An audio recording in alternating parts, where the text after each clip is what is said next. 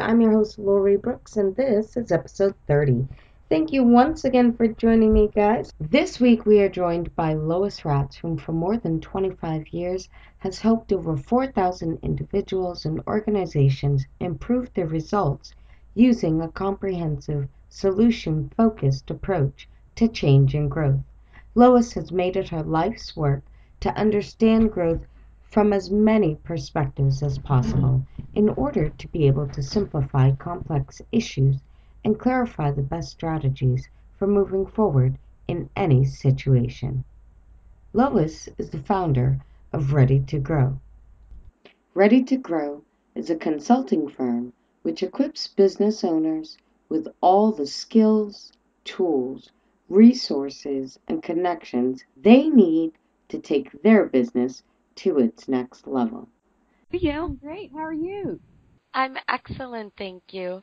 What we would love to know is a story about how it is that you once saw the future before you decided to begin branding yourself and building out the Ready to Grow business. Oh, that's a great question. Thanks for asking that. I had actually been working uh, as an organization development specialist and working with larger businesses. And then one day I attended a discussion forum that was focused more on the small business entrepreneur. And looking around the table, I immediately knew that this was more the market I wanted to focus on. There's a few different reasons for that. Because I love being able to make and have an immediate impact on the on the business by working with the owner, and I love that I can help owners create more jobs by expanding and bringing in more revenue. And, and then it's a real pleasure to know I'm making a difference in the lives of some of our most creative and talented people because that's what entrepreneurs are. I just love working with them and helping them make their vision a reality by setting up the right systems that and people that actually make that vision work. So uh, initially, you were working with um, organizations and as the organization specialist, and then you kind of began focusing on the entrepreneurial market. But before you began focusing on that market, what did you think life would look like? Did you always think about becoming an entrepreneur, or did you have something else in mind? Oh, that's a great question. No, I, I started on a completely different track, Lori. I was actually working in counseling uh, for the first part of my career. So I focused on the people side of things, uh, but more in terms of helping them move forward with their lives. And then back in the early 2000s, I started to stream more towards the business world because I actually had a background in career development. So it made sense uh, in the sense that it's always about people and their work, their relationship, and how that how that works out for them. So um, then I focused on organization development, and then from there I thought, no, it's entrepreneur, uh, the entrepreneurial world that I really want to focus on. So no, it's it's really what, and that this is the case with most entrepreneurs. We don't yeah. always end up with the vision that we started with. And um, the, the difference between an entrepreneur and say another type of person is that the entrepreneur will see the opportunity and will gravitate towards it as opposed to running away from it. Right. Right.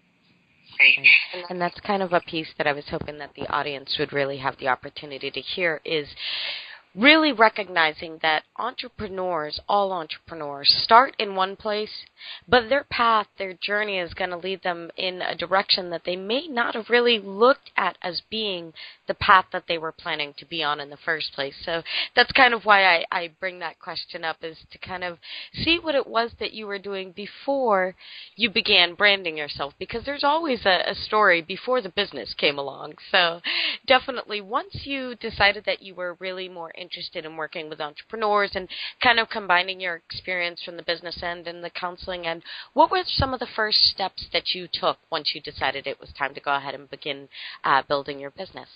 Well, I was uh, in fear and trepidation in a sense because I'd always, I, I've never worked really much in like a full time permanent type of job anyway. I'd always worked on contract, but the fact was I always, I always had contracts that I could rely on.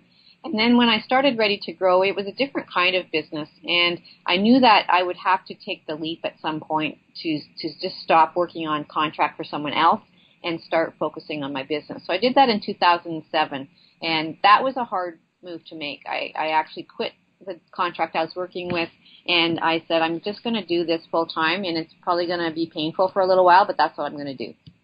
Right. That's, that's excellent. So you decided to make the choice to sever ties with the hourly wage uh, billing that you were doing with contracted clients and move full force into focusing on your own business. All right. What did you feel like was one of the hardest parts of doing that? What did you, you know, I, I can imagine uh, leaving contracted work behind uh, had to have been, you know, a, a, difficult thing in and of itself. But what do you feel like was one of the one of the hardest parts of becoming an entrepreneur? Well, I I share that um, creative spirit that most entrepreneurs that I know have, and most of us are what I would call visionary. So we can kind of see an opportunity and want to move into it, but we don't always know how. So we can we get the vision of how we want it to look, but then putting you know creating the the, the goals and the projects and the task lists and the connections we have to make and weaving that all together so the thing that we envision gets produced that's the hardest part. Uh, it was for me, and and I know it is for a lot of the owners I work with. That's that's why I really value doing this work because I know how valuable it is to the owners. Um, so I always had a vision of where I wanted to go with the business, and the hardest part was creating all the different systems. But that was been what's been invaluable because that's really helped me to be very practical in the um, help that I offer my clients. It's uh, I don't come in with an MBA and a bunch of theories. Like I actually teach people what works. I love that, Lois. um, how do you feel that technology helps you in that respect in terms of creating your systems and procedures? Uh, so there's been a lot of ways in which technology has helped me. It's also hindered me in some ways. Um, it's it because if you don't have the right technology or you haven't got the right platforms, you can waste a lot of time. But in, yeah. that all that being said, I would say that social media has helped me a lot with branding and marketing. Um, online sales does require a targeted email list, so you can make targeted offers uh, to special needs and markets. And so I've always worked hard to have the capability to have that sort of list. And then, so you need a website that, at the very least, uh, has a sales page that's going to motivate people to give you their contact information and helps have a free download or an event or some something that people are willing to exchange their connections their contact information with you so that you can continue to communicate with them. And then you got to provide stuff that's um, helpful to them because otherwise why would they give you their email? So um, you need you need the, the database and the email distribution system or CRM, customer relationship management system that supports you so you can send out um, things that are valuable to your audience. So and you and if you wanted if for people who are just starting, um, you know, there's lots of free CRMs out there like MailChimp or Constant Contact or iContact or Sugar CRM. Mm-hmm. Um, then from there, the next level up would be Aweber, Infusionsoft, GetResponse. I use Infusionsoft, but um, I, I still find it complicated, and I actually have a virtual assistant who helps me set things up like campaigns.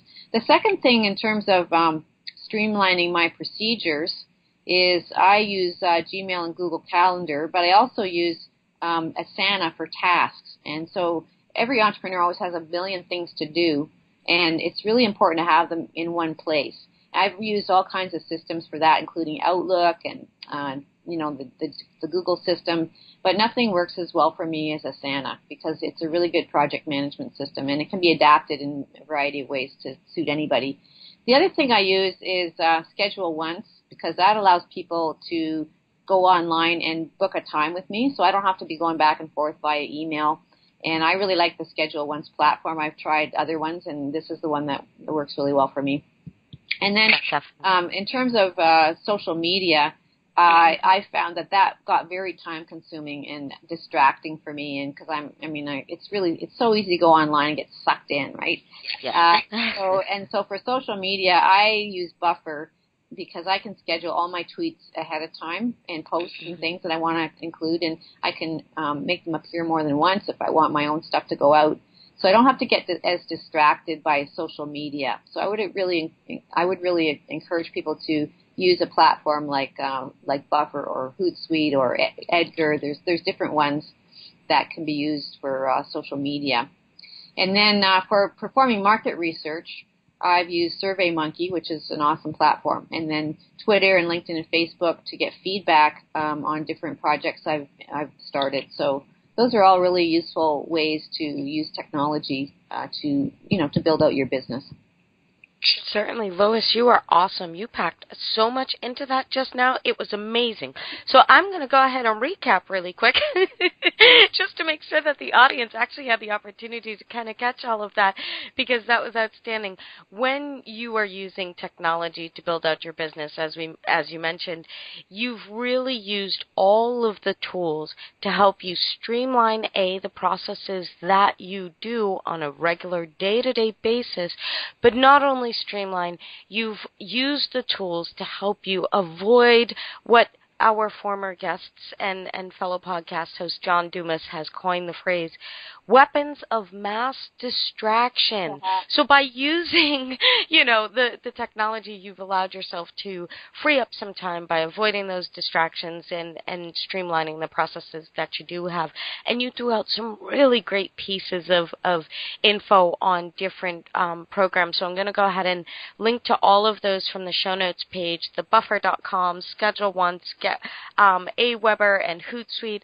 Um, I'll be sure to link to all of those and I'll just mention to you that I actually myself use GetResponse, and I find that it's probably the easiest of the platforms in terms of building out that campaign. So definitely try taking a look at that. Um, you know, it might be a little more on the simple side versus uh, the the program that you're currently using in in that respect. Um, and your VA may absolutely just love making the switch because it really is uh, very similar to HTML5 technology where it's more of a, a drag and drop in terms of creating the campaign itself with a, a calendar built out for you. So, um, yeah, I, I definitely tend to use that as well. I have not touched Asana ever. So, Lois, thank you for bringing a new piece of tech over to the show. I will definitely be checking that out and linking to that from the show notes page as well. Um, so, Lois, what do you feel are some of the key metrics? We've discussed, you know, the technology different platforms that you've used to kind of streamline some of those processes, but what do you feel are some of the key metrics that a newbie should focus on when they are performing their market research and beginning to build out those processes? I find that uh, they have to know how to think about market research. So um, I may not describe so much metrics, but more like how you should think about um, getting the information you need. So mm-hmm. the first thing any newbie should do is a lot of talking with their target market, and you can do this both face to face and online. Uh, the more you talk with people, the better you're going to understand where they're coming from, and then you also can get feedback on what they think of your product or service so you can then tweak it and adapt it to the to meet their needs. So um, I remember when I was first, um, you know, way back in the mid 2000s, I guess it was. I, I I first met Ryan Allis. He's the founder of iContact, and I first met him in an online forum. And at that mm-hmm. point, he was just starting his business, and he was using online means to reach out and and establish the connections that actually built his business. And then he sold that business in in 2012 for 169 million dollars. So it is really important to like really keep in touch with your target market. He clearly knew how to do that. So as you talk, if you talk with your target audience, you should really develop three different visuals. And so I'd like to describe those right now. Uh, you can make out like a diagram or a chart, and you can go and look online for these terms so that if you don't already know what they mean, you can go find out information about them. Um, so can I take a minute and do that now? Please. Okay, so the first one would be called an empathy map. And this, this answers the question about who's at the center of all your business efforts. And so it's actually a good idea to get a photo that represents this target person. If it's a, you know, maybe it's a young mom, or maybe it's a, you know, a senior business executive, or maybe it's a, you know, a construction guy. Uh, so you'll probably uh, have more than one of these, but start with at least one, and use the empathy map format. And what that does, and you can you can use a visual, or you can actually put this into an Excel spreadsheet. Uh, what this does is it looks at what's going through that person's mind as as they're thinking about buying your product or service. So you want to know not only what's going through their mind, but what are they feeling? What are they seeing? Who are they talking to? What are they experiencing as they're thinking about um, purchasing your product or service? And from that empathy map, then you develop the second thing, which is a buyer persona. And with the buyer persona, you're trying to answer the question, what is this person's biggest challenge that your product or service is going to solve? So that helps you build out your unique service or uh, sales proposition or unique value proposition Um, it helps you to develop your messaging. It helps you develop your communications. And so you're thinking about what are all the reasons that this person's likely to buy from you? And what are all the reasons they might actually be likely to reject your offer? And how are you planning to counter those objections? So that's a really important thinking process to go through the buyer persona. And then the third thing is the buyer process map. And that shows, uh, I usually do it from left to right so you can see it all at once. You're, you're thinking about the different uh, experiences your buyer is going through as they're considering buying your product or service from start to finish. So how are they going to hear about you in the first place? Uh, you start there on the left and then you say, okay, well, now that they've heard about you, what's the next kind of information they are going to want to know about you and, and where are they going to find that? And then go from there all the way to the point where they've bought your product or service. And that allows you to construct your content. Um, if you're going to have a content uh, program for uh, marketing, then it allows you to construct content that's going to actually map to the things that they're experiencing and thinking as they're going to buy your product or service. So those are three really important components of, you know, constructing any kind of marketing or sales process.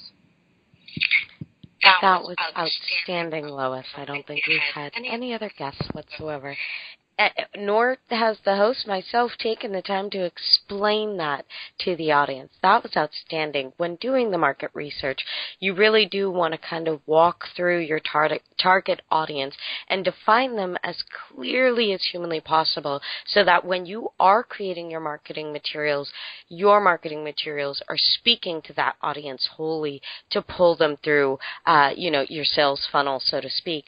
Um, so starting off with the empathy map, as you called it, the buyer persona, and the buyer process map. So I'll definitely try to summarize those for the audience on the show notes page as well, Lois. That was outstanding. Thank you. Um, when you are going through um, those three pieces uh, the empathy map, the buyer persona, the buyer process map um, this kind of leads into that next question of a limit, either minimum or maximum, to the amount of research that's being done. Because I find that sometimes I will definitely get caught up in stalling on a project simply because I'm doing so much research on a project. You know what I mean? Um, and it, there's definitely times when I've worked with clients who have a similar situation where they're not moving forward more so because they've just been focusing so much on on what that customer base might look like and, and what it is. Um, that's a, that's a really really important question and has to do with uh, probably another question you might want to discuss is because uh, we can get caught up in that um, information gathering research process. Many people love to do that. So, like we, entrepreneurs tend to do more of what they love. So, if we love research, we're going to want to do more research, right? But we have to be careful because um, the most important thing in entrepreneurship is moving forward. And you have to be able to move forward with limited information. You'll never have enough information. You, there's always more to get. And every product or service will be will be different in the amount of information that's required. Now, in my case, I launched a consulting service um, that had a coaching component. Um, but the, the, way I did it when I first started, um, and I'd actually by this point launched a couple of other businesses as well in a similar fashion. Uh, so I usually just start by ta- walking around and talking about what I do and especially in, in, what I can provide for people or what results they're going to get um, as a result of taking advantage of my service. Now, it might be a little bit different with a product. You need, might need, um, you know, more um, more background just because you're going to actually have to invest in order to create the product. But um, I actually chose my name and my tagline based on what resonated with the people in front of me. So I could tell by their by their facial expressions uh, online. I can tell by their reactions and then and then um, I chose Ready to Grow on that basis because whenever I mentioned that name, uh, people's eyes would light up and they say, "Oh, that's a great name," or "Oh, yeah, I get what you do." And so that was cool. And then um, I also tested my tagline, uh, "Your growth is our business." Um, and I tested it at a few different points at the start, and that, and you know, it was just a couple years ago and it actually stood the test of time. So I'm probably going to keep that one, even though it doesn't encapsulate every aspect of what I do. It's probably good enough. So I built the various components of my offerings based on the feedback I was getting, and that's that's really the best way to do things is just to move forward with something Um, and not everything will work. Like I've created a program called Market to Grow, which is an awesome program, but it wasn't just the right program at the right time. So I'm probably going to reshape that, and that was based on feedback I got from the, the marketplace. And uh, so it's really important that people just keep just keep moving, just keep moving. Don't get too perfectionistic. Yes there definitely comes a time when you have heard what the audience has said, you listen to what they're saying, and you take that feedback and kind of just keep it moving and, and get on to the next project. It's a matter of motivating yourself to really uh, just go ahead and say, this is enough. I know in my gut this is what they're looking for. Move forward with that, and then you can always get feedback and tweak and change and, and move forward even more. Um, so excellent. Do you think that there's anything in particular, Lois, that prospective entrepreneurs should really take into consideration prior to taking the leap or, or starting their own business? Um, I think that they need to understand their own um, um, relationship with risk. There's higher mm-hmm. risk businesses and lower risk businesses. There's, um, you know, and if they're not willing to take the risk, then they need to understand uh, what that's about. Uh, because once they get into it, there's going to be things that come up and they have to be prepared to um, encounter some uh, discomfort. They they need to be prepared to stick it out, to persist, even when the going gets rough. They need to have ways to motivate themselves and overcome their negative self-talk and not take things personally. So there's got to be a lot of inner resilience that gets created, that you know, like that that they have as they're moving into the entrepreneurship mode. Uh, if they don't have that inner resilience, they need to start developing it, and that probably would be just as important as developing a product or service that they can take to market.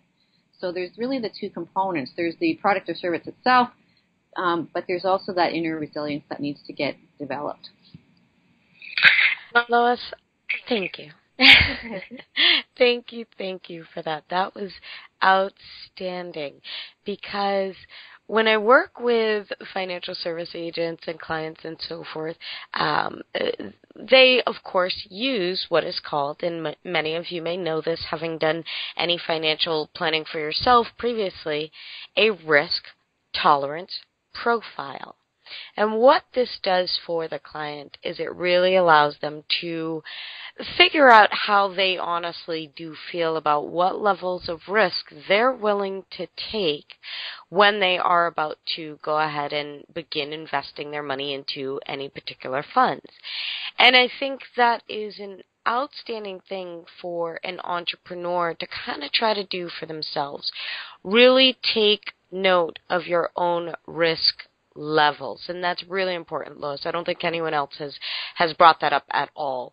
Um, knowing what your level of risk tolerance is is extremely important because if you find that your risk tolerance is low, entrepreneurship is probably not the journey for you. People burn out fast. Um, you know, it, it's it's a road that can be uh, daunting, difficult, and it's definitely bumpy. Uh, it looks differently for everyone. Um, so to know where you stand in in terms of your own risk levels is is extremely important, Lois. Thank you, thank you, thank you for that. Um, One more thing I wanted to add is, is please for that question, and that has to do with identifying your strengths.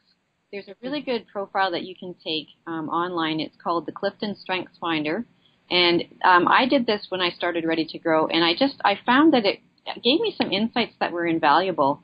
Uh, it gives you your top five. This is research that's done through the Gallup organization, and they're the you know the, the kings of uh, of research. Um, so you really get a, a good sense of where you should focus your time and energy, and where you should not. So, for example, two of my top strengths are strategy and ideation. So that means a couple of things. One is that um, I should be spending like 80% of my time doing those two things because um, if I'm not, I'm kind of wasting my strengths. So that's why, in my case, I delegate as much of the um, administrative stuff to other people as I can because it's really a waste of my time and energy. Even though I can st- I can do it, it's just not the best use of my time and energy. So that's another piece of the puzzle for prospective entrepreneurs. Know what your strengths are, and don't be afraid to delegate, even if it costs you. There's going to be a return on that investment. Um, if you know if you're not good at bookkeeping, do not do your bookkeeping. Give it to somebody else. Undoubtedly. Definitely. Learn how and when it's time to begin delegating those tasks so that you do have the opportunity to continue working on your business and working on yourself in the areas that are going to serve you best in the end. Um, so excellent. Uh, what do you feel like you would caution as as the biggest mistake first time entrepreneurs tend to make? Well, I'll refer back to my previous answer, and that really is perfectionism and overthinking. Um, I'm a I'm a thinker by nature, and I I will overthink things unless I curb myself away from that. So um, so knowing what your strengths are, and maybe you're a real action person, and what you need to do is um, step back and think about things from time to time. That can be the other way of looking at it. So you want to really make compensate for your like focus on your strengths, but find ways to compensate for your weaknesses so that your your business isn't suffering because you're this whole you've got this whole other thing going on. Um, and I guess another thing related to that would then don't spend a lot of time designing the perfect logo, website, sales page, and so on because that's all going to change within a year. You can mm-hmm. practically guarantee it. So you want to get a working draft and then you want to get it out there and then you want to assume it's going to need to change within a couple years for sure. So um, so then that takes me to another part, which is don't spend money on stuff that doesn't matter. Like what matters is what the client needs from you, and then how you're providing it better than some other person or has some other business. And that's that's really the key to success. So you need to be willing to make decisions and move forward, even when you have only 60% information in the service of the client. That's really what it's all about. Excellent, Lois. Um, I really think that you have shown the audience that it's extremely important to realistically know themselves um, before going into entrepreneurship. Um, because if you don't really know yourself, what your own strengths are, what your uh, weaknesses are, you know, what your passion is, uh, and and really figuring out who you are and what your risk levels are, um, it can be a much bumpier road than necessary. So hopefully what we can do is help to smooth some of the bumps in the road that may still be there. Lois, the show is really designed to help entrepreneurs come up with ideas for new innovative companies and business ideas to help solve the pain in an industry that they may not have thought of. So we'd love to help you. If you had a magic wand and could change anything at all in your business, what would it be and why? That is such a great question, and I so appreciate that. And I don't exactly know what the answer is, but um, I, even though I, um, I do market my business and I do help other people market my business or their businesses. Sorry, um, I, I wish I didn't have to do marketing. I would just love to have an army of ambassadors who would help me get the word out there that it's a good idea to get help and support to, to grow your business, to move forward to the next level. And so that's, I don't know how, um, I don't mean that to be a frivolous answer, but that's kind of like, that's what I need the most. Certainly it's totally understood. It tends to be a resounding answer, uh, uh, you know, in terms of marketing being one of the more challenging pieces in the business. You know, once you have your idea and you're running with this golden, uh, you know, piece of information, it's it's difficult to make sure that everyone knows that that information is actually available. Um, so hopefully, we are going to help you out with uh, getting some sort of exposure here and and moving right along. But Lois We want to say thank you, thank you, thank you for joining us this morning. You have been absolutely outstanding. You've provided a million golden nuggets that I can't wait to put together on the show notes page. Please share the West the best way for our listeners to find you. Oh, thank you, Lori, and thank you so much for uh, like you, are a big part of um, helping entrepreneur, entrepreneurs, supporting us, and getting our ideas out there. So I just want to say thank you so much for putting your show on and uh, taking thank a step you. and just making it happen. That's awesome. So Thank if, people, if people want to get to know or get to know Ready to Grow a little bit better, it's just www.readytogrow with the number two in the middle uh, dot com. So readytogrow.com and, and there's information there and so on and there's ways to contact me if they would like to just have a chat. I love to meet with people on an informal basis with no cost or obligation, just as we, just so we can see uh, the different kinds of ways we can work together. And then I like to actually submit a proposal. So um, I don't bring people into programs and you know kind of stuff them with content. What I do is I work with each one individually. And uh, so I'd love to talk with anyone who's interested. Lois, thank you, thank you, thank you once again for joining us today. Thank you so much again. Thank you once again for joining me, everyone, here for episode number 30. I hope you guys truly enjoyed that episode. Lois dropped a ton of information and resources there on you guys, so I will be sure to link to all of that in the show notes page at technologyequality.com forward slash Lois Raats. Of course, you can always reach out to Lois at readytogrow.com if, in fact, you are looking to go ahead and begin working with Lois and, and get started on growing your business. Thank you, thank you, and until our next episode when we continue to hear the journey, find the pain, and create solutions, enjoy the week.